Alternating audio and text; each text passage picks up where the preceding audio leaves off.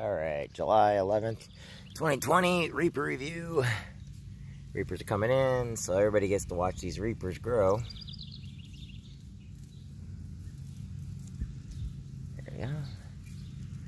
one plant. This down here, he's doing good. What the fudge is going on here?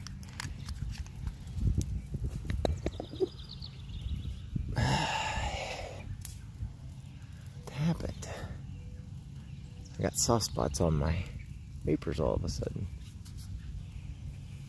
Huh. I don't know what that's from. I got some soft spots and I don't know what that's from. Well,